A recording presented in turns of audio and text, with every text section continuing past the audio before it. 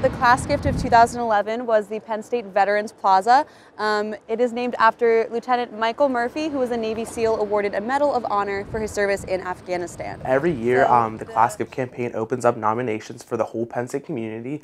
That's not only just the class of 2020, but underclassmen, um, alumni, members of the community can nominate anything that they think would be a great class gift for Penn State that year.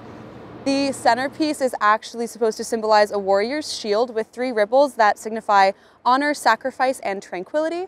And the phrase on the wall is actually a Greek phrase that means with your shield or on it. That's something that.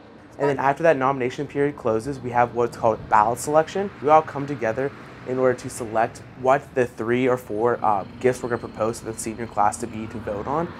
The class gift of 1940 was the Nittany Lion Shrine. And in 2012, the senior class decided to make their class gift a fund to renovate the area surrounding the Lion Shrine.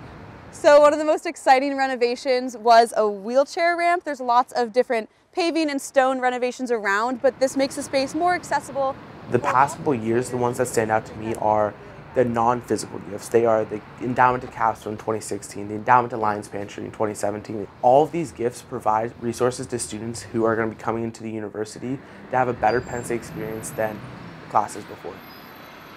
So now we're up by Beaver Stadium to see the class gift of 2015, which is a solar panel array. There were a couple years in a row where they wanted to have green class gifts that were focused on having a more sustainable power source. This bus station actually has displays and a charging station that are completely powered by the solar panels. So this solar panel array really demonstrates Penn State's commitment to a greener future.